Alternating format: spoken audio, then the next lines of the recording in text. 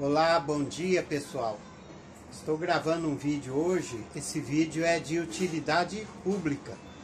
É para uma dica para quem mora em apartamento, tem uma churrasqueira pequena. Vou dar uma dica de como economizar mais carvão e fazer aquela carninha gostosa, aquela picanha, aquele contrafilé, aquela bisteca. É só colocar uma Gengis Khan dentro, né? Uma grelha em cima na churrasqueira. Olha aí, ó. Coloquei a grelha. Vou colocar fogo.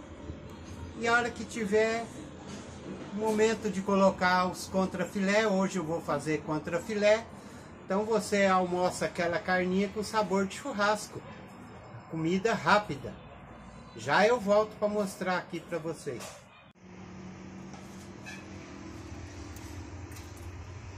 Olha aí, as brasas já pegaram fogo, né? Hora de preparar a carninha para colocar aí. Vai. Olha aí, pessoal. Agora eu vou colocar o contrafilé.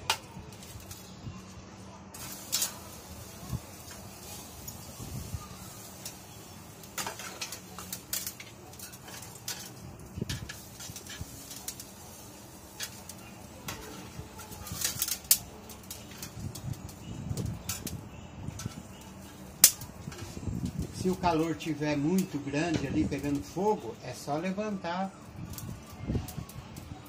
a grelha. Né? Carne rapidinho. Olha aí, ó. Coloquei mais três filezinhos, três bife. Daqui a pouco eu viro, a hora que estiver quase pronto eu mostro.